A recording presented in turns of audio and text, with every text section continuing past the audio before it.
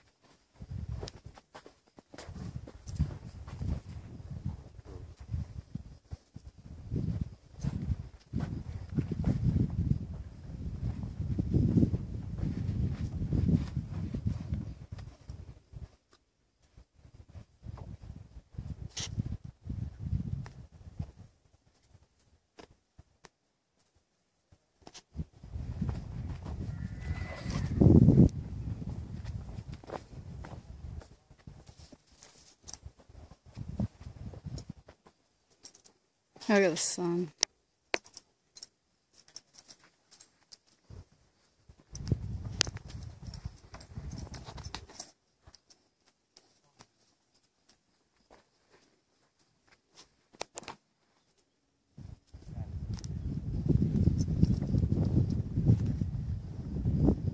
Have step back a little.